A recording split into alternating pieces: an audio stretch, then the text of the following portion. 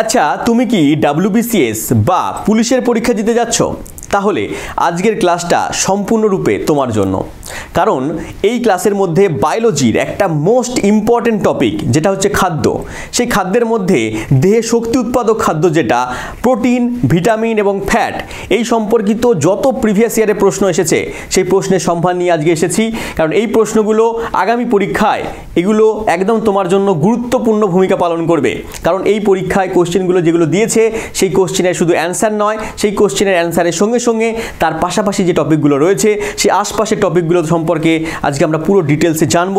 এই ক্লাসটা করলে তোমার যদি আগামী পরীক্ষায় কোশ্চেন আসে এখান থেকে, তাহলে তুমি তার সঠিক উত্তর করে আসতে পারবে এবং এখান থেকে কোশ্চেন আসবেই আসবে। কারণ তোমরা জানো, পুলিশের ক্ষেত্রে, তোমার ডাব্লিউবিসিএসের ক্ষেত্রে প্রিভিয়াস ইয়ারের প্রশ্ন ঘেটে ঘেটে সেখান থেকে বা তার আশেপাশের টপিক থেকে কোশ্চেন ডাইরেক্টলি তুলে দেয়। তো চলো বেশি কথা না বলে আজকের ক্লাসের মধ্যে আমাদের যে প্রথম প্রশ্ন সেটা দেখে নিচ্ছি। প্রথম প্রশ্ন আমাদের যেটা রয়েছে, সেটা হচ্ছে প্রতি একক ভরে বেশি ক্যালোরি যোগান দেয় যে খাদ্য সেটি হলো। কোশ্চেনটা এসেছে দেখো কোথায়? ডাব্লিউবিসিএস দু হাজার উনিশে আসা প্রশ্ন। ডাব্লিউবিসিএস দু হাজার উনিশে আসা প্রশ্ন এটা, কোন খাদ্যটা বেশি পরিমাণে ক্যালোরি দিচ্ছে মানে বেশি পরিমাণে শক্তি উৎপন্ন করছে? এর মধ্যে অপশান হয়ে যাবে আমার ফ্যাট মনে রাখবে, এক গ্রাম ফ্যাট থেকে, এবারে আশেপাশে টপিক দেখো, এক গ্রাম ফ্যাট পরের বার দিতে পারে এক গ্রাম ফ্যাট থেকে কত শক্তি উৎপন্ন হয়? তাহলে এক গ্রাম ফ্যাট থেকে শক্তি উৎপন্ন হয়, মনে রাখবে nine point three kilocalorie K C L বলে দেয় কিলো ক্যালোরি যদি বলো এক গ্রাম ফ্যাট থেকে nine point three kilo calorie শক্তি উৎপন্ন হয়, এক গ্রাম শর্করা থেকে বলুন, বললাম এক গ্রাম শর্করা থেকে, শর্করার নামই হচ্ছে কার্বোহাইড্রেট এক গ্রাম শর্করা থেকে ওই ফোর পয়েন্ট ওয়ান কিলো ক্যালোরির মতো শক্তি উৎপন্ন হচ্ছে four point one kilocalorie বলে আচ্ছা শর্করা বলে দিলেন, এবার বলে দিন আপনি প্রোটিন বলে দিন, বললাম ঠিক আছে। এক গ্রাম প্রোটিন থেকেও বলে দিচ্ছি, এক গ্রাম প্রোটিন থেকে শক্তি উৎপন্ন হয়, ওই ফোর পয়েন্ট মোটামুটি থ্রি ধরা হয়।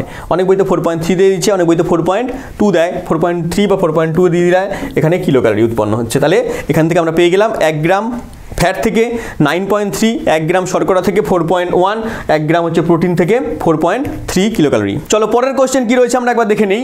পরের কোশ্চেন রয়েছে, কোন ঋতুতে আমাদের শরীরে বেশি ফ্যাটের প্রয়োজন হয়? কলকাতা পুলিশে আসা প্রশ্ন এটা দু হাজার একুশে আসা প্রশ্ন, কোন ঋতুতে আমাদের শরীরে ফ্যাট বেশি দরকার পড়ে, আমাদের শরীরকে গরম রাখতে হয়, কোন কোন ঋতুতে? বলো, নিজেরাই বলতে পারবে। একদম সোজা প্রশ্ন দিয়েছে এটা, যে শীতকালে আমাদের শরীরে বেশি ফ্যাটের প্রয়োজন হয়। শীতকালেই হবে, কারণ গরমকালে আমাদের শরীরে বেশি ফ্যাটের প্রয়োজন নেই। শীতকালে আমাদের শরীরে বেশি ফ্যাটের প্রয়োজন হয়, কারণ আমাদের শরীরটাকে তখন কী রাখতে গরম রাখতে হয় এবং হচ্ছে তোমার এই সঙ্গে সঙ্গে তোমরা মনে রাখবে যে এই ফ্যাটটা হচ্ছে তোমার, এই ফ্যাটটা তো আমরা বলছি ঠিক আছে, যে nine point three kilo calorie বললাম, তাপ উৎপন্ন করছে। Nine point three K C L শক্তি উৎপন্ন করছে এক গ্রাম থেকে। কিন্তু তাহলে সবাই তোমার মনে প্রশ্ন জাগতে পারে যে বেশি পরিমাণে তাহলে ফ্যাট খেয়ে নিই। অন্য খাবার দাবার খাওয়ার দরকার নেই, ভাত, রুটি খাওয়ার দরকার নেই। এক গ্রাম ফ্যাট খেয়ে নিলে nine point three kilo calorie শক্তি উৎপন্ন হচ্ছে, তাহলে আমি ফ্যাট বেশি পরিমাণে খেয়ে নিচ্ছি। অল্প ফ্যাট খেলে আমার বেশি শক্তি উৎপন্ন হবে। বেশি কাজ করতে পারব? এই ধারণাটা ভুল। কারণ হচ্ছে তোমার, তুমি বেশি পরিমাণে ফ্যাট খেলে তোমার শরীরে বেশি শক্তি উৎপন্ন করবে, ঠিক আছে, কিন্তু এই ফ্যাটটা হচ্ছে তাৎক্ষণিক শক্তি দেবে না। এ জমা থাকবে বেটা বলে, না, আমি তাৎক্ষণিক শক্তি দেবো না। বলে, তাহলে তাৎক্ষণিক শক্তি কে দেবে? বললাম তাৎক্ষণিক শক্তি দেবে তোমার ওই শর্করা জাতীয় খাবার বা কার্বোহাইড্রেট জাতীয় খাবার, যেটা এক গ্রাম থেকে ওই four point one four point kilocalorie শক্তি উৎপন্ন করছে। সেই খাবারটা তাৎক্ষণিক শক্তি দেওয়ার জন্য আমাদের তাৎক্ষণিক কাজকর্ম করতে হচ্ছে। সঙ্গে সঙ্গে কাজকর্ম, সঙ্গে সঙ্গে আমার শক্তি দরকার। খাবার দাবার খেলাম, সঙ্গে সঙ্গে চলো ড্যাং ড্যাং করতে চলে গেলাম, মাঠে চলে গেলাম, কাজকর্ম করতে হচ্ছে। তাহলে এই যে তাৎক্ষণিক শক্তি দিতে হচ্ছে আমাকে, সেটা সাপ্লাই করছে হচ্ছে কার্বোহাইড্রেট জাতীয় খাবার। এই জন্য কার্বোহাইড্রেট বা শর্করা জাতীয় খাবার আমাদের বেশি পরিমাণে খেতে হয়। কেন খেতে হয়? মাথায় ঢুকলো। প্রোটিন জাতীয় খাবার আমাদের পেশিকে শক্ত করতে, আমাদের এই যে সমস্ত মাংস মাংসপেশি, এই সমস্ত বডি বিল্ডিং করতে কাজে লাগছে। এই জন্য প্রোটিন জাতীয় খাবারকে কী বলা হচ্ছে? পেশি যে তৈরি করছে বলে এটাকে হচ্ছে তোমার বডি বিল্ডার বলা হচ্ছে। বডি বিল্ডার মনে রাখবে, ঠিক আছে? এবং হচ্ছে তোমার ফ্যাট জাতীয় খাবারটা আমাদের শরীরে সঞ্চিত থাকছে। এই বেশি পরিমাণে আমাদের শক্তি উৎপন্ন করলেও আমাদের শরীরের মধ্যে কি হচ্ছে? সঙ্গে সঙ্গে শক্তি দিচ্ছে না। তাৎক্ষণিক শক্তি উৎপন্ন করছে তাৎক্ষণিক শক্তি দিচ্ছে না। সেই জন্য কী হচ্ছে এটাকে আমাদের সঞ্চয়ী খাদ্য বলা হচ্ছে। কি বলা হচ্ছে এটাকে? সঞ্চয়ী খাদ্য বলা হচ্ছে। পরের কোশ্চেন দেখে নাও। লিপিডের অন্যতম উপাদানটি হলো লিপিড মানেই হচ্ছে ফ্যাট লিপিড মানেই হচ্ছে ফ্যাট সেই ফ্যাটের অন্যতম উপাদান ডাব্লিউবি পুলিশে দিয়েছে। দু হাজার পনেরো সালের কোশ্চেন এটা। তাহলে ফ্যাটের অন্যতম উপাদান কি হয়ে যাবে? ফ্যাটি অ্যাসিড হয়ে যাবে। ফ্যাটের অন্যতম উপাদান ফ্যাটি অ্যাসিড একদম সোজা। লিপিড বলে দিয়েছে, কারণ ফ্যাট বলে দিত কোশ্চেনের মধ্যে তাহলে ছেলেপিলে ভাবতে আচ্ছা ফ্যাট মানে ফ্যাটি অ্যাসিড হবে। তাহলে লিপিড মানে ঘুরিয়ে দিয়েছে লিপিড বলে দেবে, বা বাংলায় তোমাকে কি বলে দেবে? বাংলায় তোমাকে ওখানে চর্বি জাতীয় খাবার বলে দেবে। চর্বি জাতীয় খাবারের প্রধান উপাদান কী কী? তাহলে তুমি এখান থেকে করে দিতে পারবে ফ্যাটি অ্যাসিড। তোমার অ্যামাইনো অ্যাসিড মনে রাখবে তোমরা। প্রোটিনের হচ্ছে তোমার প্রোটিনের একককে বলা হচ্ছে অ্যামাইনো অ্যাসিড। প্রোটিনের যে একক, তাকে অ্যামাইনো অ্যাসিড বলা হচ্ছে। ম্যালিক অ্যাসিড তোমরা জানো, আপেল, ঠিক আছে? নিউটনের আপেল। তাহলে নিউটনের আপেল কি হচ্ছে? Malic acid. আপেলের মধ্যে ম্যালিক অ্যাসিড থাকে। নিউক্লিক অ্যাসিড যেটা হচ্ছে, নিউক্লিক অ্যাসিড হচ্ছে তোমার ডিএনএ এবং আরএনএকে নিউক্লিক অ্যাসিড বলা হচ্ছে। ডিএনএকে এবং আরএনএকে ডিএনএ মানে ডিঅক্সি রাইবো নিউক্লিক অ্যাসিড এবং আরএনএ মানে রাইবো নিউক্লিক অ্যাসিড। তাকে উপাদানকে বলা হচ্ছে, কি বলা হচ্ছে? Nucleic acid. ডিএনএ এবং আরএনএকে নিউক্লিক অ্যাসিড বলা হয়। পরের কোশ্চেন দেখো কি রয়েছে? নিচের কোন খাবারের মধ্যে সবচেয়ে বেশি প্রোটিন পাওয়া যায়? কোথায় এসছে কোশ্চেনটা? WBP West Bengal police constable দু হাজার আসা প্রশ্ন এটা। কোন খাবারগুলোর মধ্যে সবচেয়ে বেশি প্রোটিন পাওয়া যায় মনে রাখবে? এর মধ্যে সবচেয়ে বেশি প্রোটিন পাওয়া যাচ্ছে মাছের মধ্যে। মাছের মধ্যে সবচেয়ে বেশি প্রোটিন পাওয়া যায়। এই এই খাবারগুলোর মধ্যে মাছ হয়ে যাবে এখানে অ্যান্সার এবং তার সঙ্গে সঙ্গে এই দুধের মধ্যেও কিছু পরিমাণে প্রোটিন পাওয়া যায়। কিন্তু দুধের মধ্যে হচ্ছে তোমার, দুধের থেকেও মাছে বেশি প্রোটিন পাওয়া যায়। এবং প্রোটিনের পরিমাণ তোমার যদি বলে দেয় যে উদ্ভিজ্জ খাবারের মধ্যে কোনটা কোনটা প্রোটিন পাওয়া যায়, তাহলে ডাল জাতীয় খাবার যে সমস্ত খাবার খাও তোমরা। সেই ডাল জাতীয় খাবারের মধ্যে কী পাওয়া যাচ্ছে? প্রোটিন পাওয়া যাচ্ছে। মাখনের মধ্যে বেশি পরিমাণে কী পাওয়া যাচ্ছে? ফ্যাট জাতীয় খাবার বেশি পরিমাণে রয়েছে।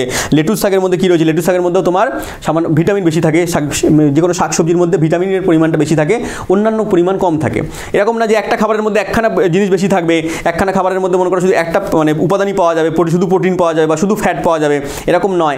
একটা খাবারের মধ্যে একটা জিনিসকে বেশি পরিমাণে পাওয়া যায় বা দুটো জিনিসকে বেশি পরিমাণে পাওয়া যায়। বাদ বাকি জিনিসগুলোকে হয়তো কম পরিমাণে পাওয়া যাচ্ছে। এরকমভাবে খাবার দাবারকে চুজ করতে হয়, যেটাকে আমরা কি বলি ডায়েট করে অনেকে দেখবি ডায়েট মায়ের সময় সব লিখে দেয়, এতটা খাবার খেতে হবে। পরের কোশ্চেন আমরা চলে এসেছি, কলকাতা পুলিশে আসা প্রশ্ন। দেখো দু হাজার আঠারোতে এসেছে কোশ্চেনটা অ্যামাইনো অ্যাসিডে উপস্থিত মূলক দুটি কী কী? অ্যামাইনো অ্যাসিডে কোন কোন মূলক থাকে? অ্যামাইনো অ্যাসিড কার একক বললাম? অ্যামাইনো অ্যাসিড একটু আগেই বললাম যে অ্যামাইনো অ্যাসিড হচ্ছে তোমার প্রোটিনের একক। প্রোটিন অনেকগুলো অ্যামাইনো অ্যাসিড মিলিয়ে প্রোটিন তৈরি হচ্ছে। আবার অ্যামাইনো অ্যাসিড কী নিয়ে তৈরি হচ্ছে দেখো? অ্যামাইনো অ্যাসিড তৈরি হচ্ছে তোমার অ্যামিনো এবং কার্বক্সিল। অ্যামিনো এবং কার্বক্সিল নিয়ে তৈরি হচ্ছে কি? অ্যামিনো এবং কার্বক্সিল নিয়ে তৈরি হচ্ছে অ্যামাইনো অ্যাসিড অনেকগুলো অ্যামাইনো অ্যাসিড নিয়ে আবার তৈরি হচ্ছে কি? প্রোটিন অনেকগুলো অ্যামাইনো অ্যাসিড নিয়ে তৈরি হচ্ছে প্রোটিন তাহলে পরে এইভাবে আমরা পেয়ে গেলাম কলকাতা পুলিশে আসা প্রশ্ন। এবার পরের কোশ্চেন দেখে নাও। গ্লাইকোজেনে উপস্থিত সরল শর্করাটি কি? গ্লাইকোজেন কীভাবে থাকে? আমরা যখন শর্করা জাতীয় খাবার খাচ্ছি, সেই শর্করা জাতীয় খাবারটা যখন আমাদের শরীরের মধ্যে কাজ করছে, তখন সেটা হজম হচ্ছে, হজম হয়ে কী তৈরি করছে না শক্তি উৎপন্ন করছে। কিন্তু যখন আমাদের শরীরের মধ্যে তাৎক্ষণিক শক্তি কাজে লাগছে না, তখন কি হচ্ছে? এই শর্করা জাতীয় খাবারটা, গ্লুকোজটা আমাদের শরীরের মধ্যে কি সঞ্চিত হয়ে থাকছে? শর্করা জাতীয় খাবারটা ভেঙে ভেঙে গ্লুকোজ তৈরি করে, তাহলে গ্লুকোজটা কি হচ্ছে? যখন আমাদের শরীরের মধ্যে শক্তি উৎপন্ন করতে কাজে লাগছে না, আমরা কাজে লাগাচ্ছি না হ্যাঁ খাচ্ছি, দাচ্ছি, ঘুমাচ্ছি, তখন কি হচ্ছে? তখন হচ্ছে এই শর্করা জাতীয় খাবারটা গ্লুকোজ রূপে, গ্লুকোজটা কি হচ্ছে? গ্লাইকোজেন রূপে আমাদের শরীরের মধ্যে সঞ্চিত হয়ে থাকছে।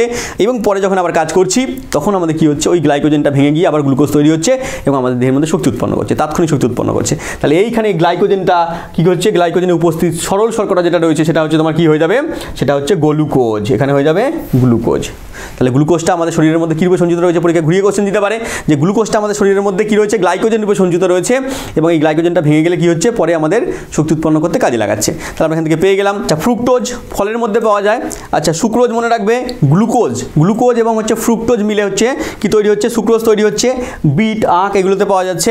আর গ্লুকোজ তোমরা জানো যে ভাত, রুটি যত খাবার দাবার খাবে, সেগুলো হচ্ছে তোমার সরল অংশ থেকে কী পাওয়া যাচ্ছে? গ্লুকোজ পাওয়া যাচ্ছে। আর সেলুলোজ হচ্ছে তোমার অনেকগুলো গ্লুকোজ মিলে সেলুলোজ তৈরি হচ্ছে।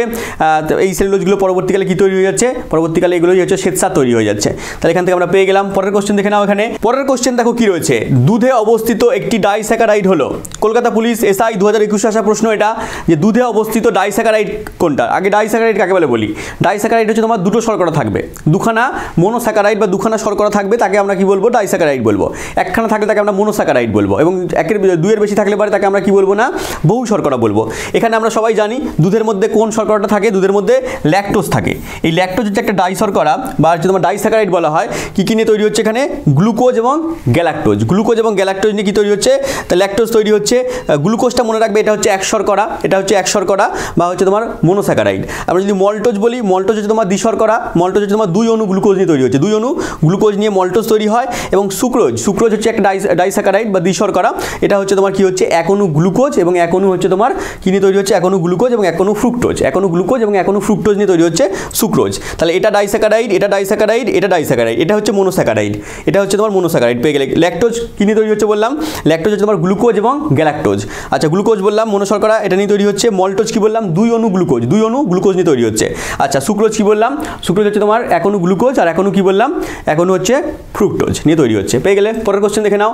ল্যাকটোজ একটি কি? দেখো কোশ্চেনটা ঘুরিয়ে দিয়েছে। ল্যাকটোজ কীরকম শর্করা চেয়েছে? কমেন্ট আমাকে অ্যান্সার দেবে, আমি আগেরটাই বলে দিয়েছি।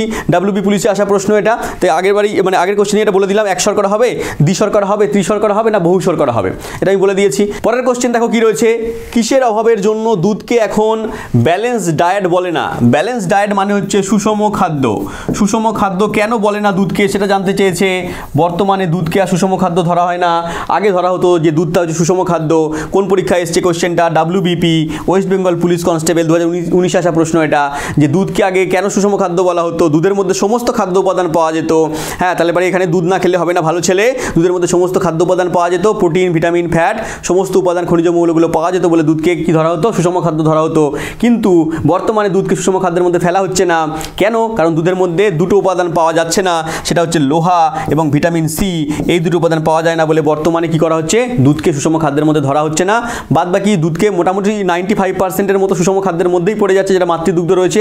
তার মধ্যে সমস্ত গুণই বর্তমান থাকে। তাহলে সেটা খেলে পারে কি হচ্ছে? সমস্ত খাদ্য উপাদান একসঙ্গে পাওয়া যায়। এই জন্য হচ্ছে তোমার দুধকে সুষম খাদ্যের কাছাকাছি ধরা হয় বা হচ্ছে পরি মানে পরিপূর্ণ বলা হয়, ঠিক আছে? এই সুষম খাদ্যের পরিপূর্ণতা হচ্ছে তোমার মাতৃদুগ্ধকে ধরা হচ্ছে। তাহলে এটা আমরা পেয়ে গেলাম। পরের কোশ্চেন দেখে নাও। কোনটিতে ক্যালসিয়াম সামগ্রিকভাবে সর্বাধিক থাকে? মানে ক্যালসিয়ামের পরিমাণ কার মধ্যে বেশি রয়েছে? ফুড এসআইতে আসা প্রশ্ন। ফুড এসআই পরীক্ষায় দিয়েছে, ব্যাস ফুডেরই প্রশ্ন দিয়ে দিচ্ছে কোনটার মধ্যে, কোন খাদ্যের মধ্যে কি রয়েছে? ক্যালসিয়ামের পরিমাণ সর্বাধিক রয়েছে।